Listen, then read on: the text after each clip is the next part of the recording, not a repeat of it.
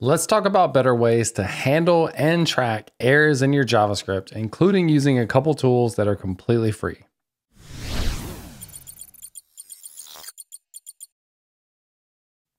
What's up, everyone? My name is James Q Quick, and I do weekly videos on web development related topics and a lot specifically focused on JavaScript.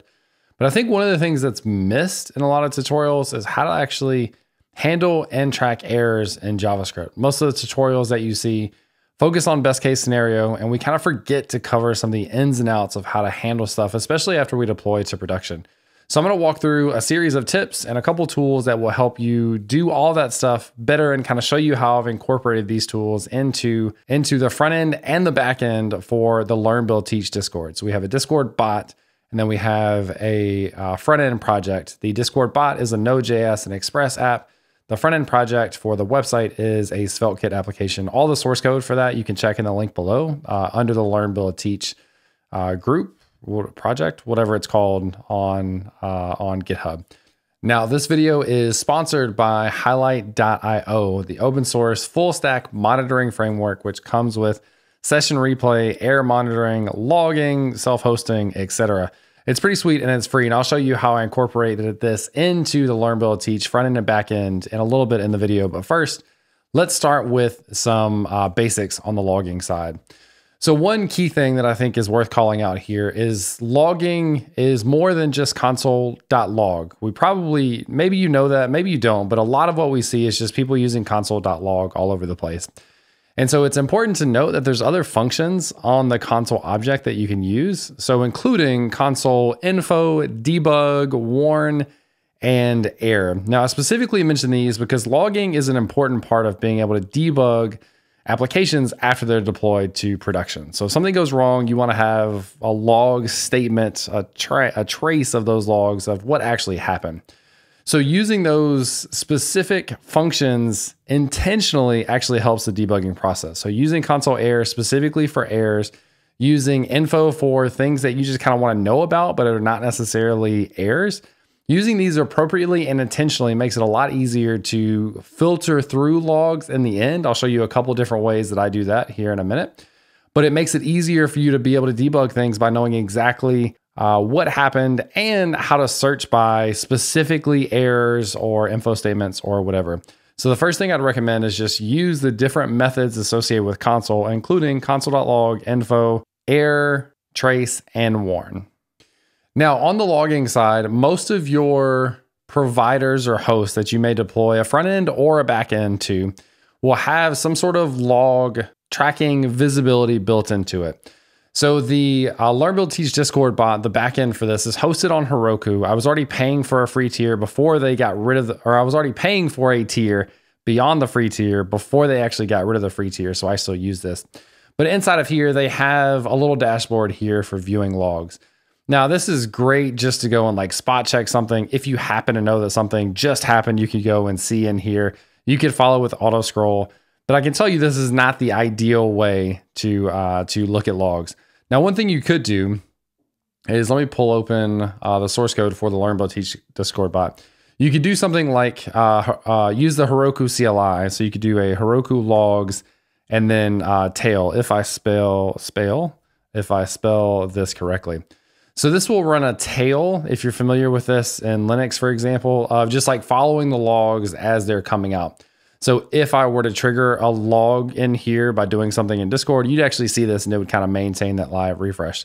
So that's kind of cool. And then one of the other things that is helpful is Heroku logs last 100 logs or something is kind of choosing to say, I want to see all the previous X number of logs. And it looks like you can do that with the N. Uh, so let's actually try this. Uh, Heroku logs dash N 1500. This will show you the last 1500 logs and you could go and scroll all through these. It's not very searchable. You could also uh, kind of write these too. I think you could write this to uh, like logs.txt if you did the the um, greater than symbol. I think that's how that works. I haven't done this in a long time. Let's actually see if that worked. So let's open up log.txt. I think this did work. And so if you generate a text file, then you could open it up in VS Code and you could search through that. Again, still not like the best way to do this, although this is something that you can do. So one of the things that I did inside of Heroku, if we go back to the Heroku dashboard, and go to overview. And somewhere in here, I have uh, add-ons. So I installed Logtail as a, as a free add-on to, uh, to Heroku. And so if I open up uh, Logtail, this is log management reimagined for 2023, whatever. It has searchability for logs and it's actually pretty nice. So if I go into the dashboard here, you can see that I have uh, all the logs showing. This is for the last three hours. I could go uh, now minus 24 hours to now, which is basically the last 24 hours. So it's a completely searchable one based on date, based on like type of logs that you're looking for. This is taking, it doesn't usually take that long, I don't think. Um, but you can do a lot of things in here for searching for logs in a much easier way than downloading logs yourself from Heroku and then going and through and searching as well. So this is a free one that I've used. This has been pretty nice for me. Uh, I go in here and, and, use this a lot.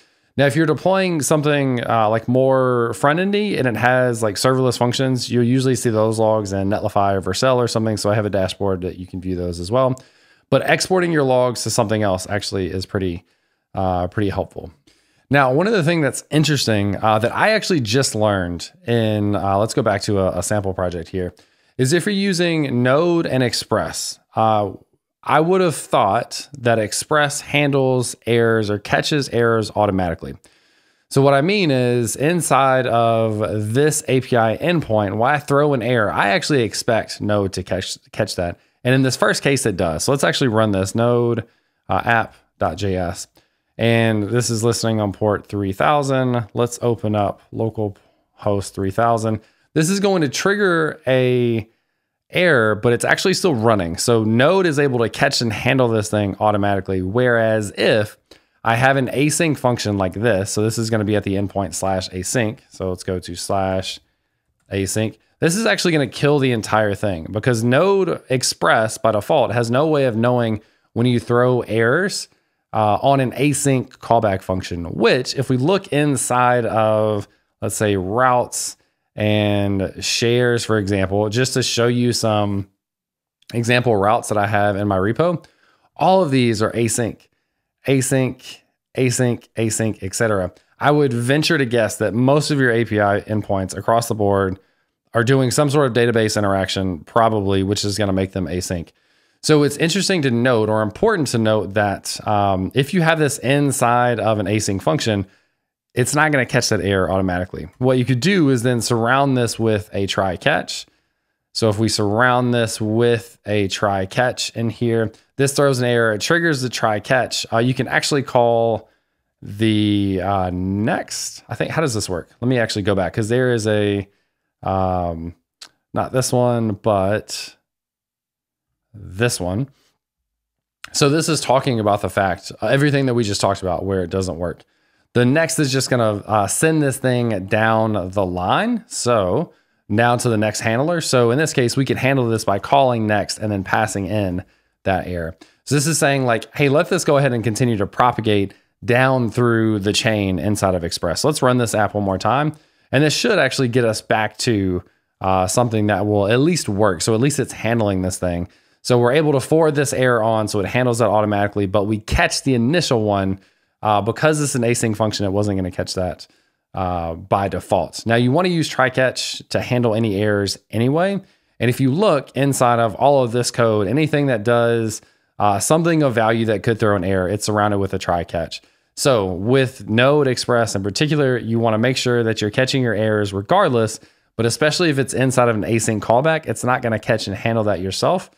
Uh, it's going to actually kill your entire application. So you need to actually handle that manually. So those are a few different tips for uh, handling and tracking your errors, specifically with logging. And now I want to get into uh, the sponsor, and I'm going to show you uh, how we incorporated this into uh, into the Learn Build Teach front end and back end. But this is with Highlight, and one of the things that I think is right off the bat most impressive is session uh, session replay. So this means like here's a session that someone has had on the site. I can actually play through this and see what they did on the site. So I can see where their cursor is. I can see where they go. They actually went to the Spanish version of this. That's actually really cool. Um, and you can see they click on or they look at clicking on the Discord link, then they go to the content page. This sort of information is crazy valuable. So this is just like session replay in here where I can just see what they do. This is great for like UI, UX research and then just kind of seeing how people interact with it. But really, really cool stuff that people can do this. This is actually me going through in the admin dashboard and approving the different articles that we then uh, use to share. So there's nothing private in here, just me like approving these from an admin perspective. But that's really cool. But the, the beauty of this comes with like connecting that to an error. And the real beauty of the of this connects like front end and back end. So tracking errors on the front end is great. Like, but a lot of times what's happening is your front end is calling your back end and you want to have that full thing actually connected. So if I come into the errors tab, this is something we did when testing where we kind of forced an error to, to demo this inside of Highlight. And inside of here, you see it threw an error on the front end. And so what it does, it actually shows you like specific line in the front end where this happened. So originally when this error was thrown, if we come to the server uh, insights route in here, this is making a fetch request to my backend that's hosted on Heroku. And it's assuming that it's going to get back uh, data in a JSON format that it can convert to JSON. And actually, the the issue with that is if there was an error that happened on the server, the res.json wouldn't work. And actually, I just realized this code should actually be up here. So you should check the status of that first. There's one tip as well if you're using fetch. It doesn't throw an error, it just returns back a status that represents an error, and you have to check that. So I actually found this bug through seeing this inside of the highlight dashboard. But in this case, it's calling the backend. And because of that, uh, we actually see an error on the front end. So this is the front end error. And then because we have that session uh, or we have highlight registered in the front end and back end, it's sending session information to the back end to where now this back end error is related to this as well. So if we were to scroll down, uh, I need to upload some uh, source maps for this code, but you can see that it actually triggered an error in the backend. So the fact that you can like see session replays and then see what people were doing when they experienced an error and then track an error all the way to the backend, really, really cool stuff. And then for me, uh, this is a, a relatively new feature of Highlight is there's a logs tab. In this case, I don't really have much to show, but I can now incorporate kind of what I was using Logtail for to have searchability of my logs and have them all be aggregated right here. So since I already have Highlight incorporated into my application, I don't really have to do anything extra for it to then uh, show me all the logs that I end up running in my application inside of this dashboard and be able to search and query and all those different things. They also have the ability to configure alerts if you hit certain thresholds and send yourself emails and stuff like that. So all of this is free. I would highly recommend people check this out. Like the session replay is, I think, by far the coolest thing. And again, what better way to know how people are interacting with your site, whether it's for tracking errors or just like research of how they're interacting with it, than be able to see like a scrubbable video. You can see all the interactions and things over here. So there's lots of really cool stuff inside of Highlight. I think adding any sort of tooling and dashboard and alerting system on top of just your basic logs is essential for anything that you actually want to monitor. For me, I was just kind of waiting around for someone to tell me that something in the Discord bot broke before I then then went and did research and tried to look into the logs to figure out what happened.